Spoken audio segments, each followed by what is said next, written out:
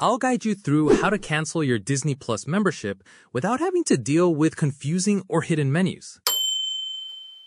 If you're looking to save some money on your monthly subscriptions, or you've decided that another streaming service is a better fit for you, and so you need to cancel your Disney Plus membership, then this tutorial will walk you through the complete steps. If you're ready, hit the like button. Let's get started.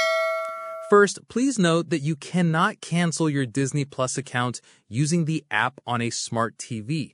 The cancellation process must be done on a computer or mobile browser.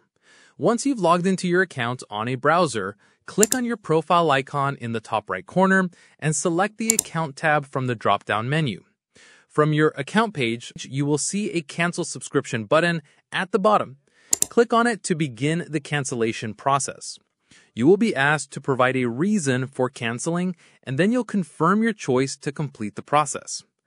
After you have canceled, your account will remain active until the end of your current billing period.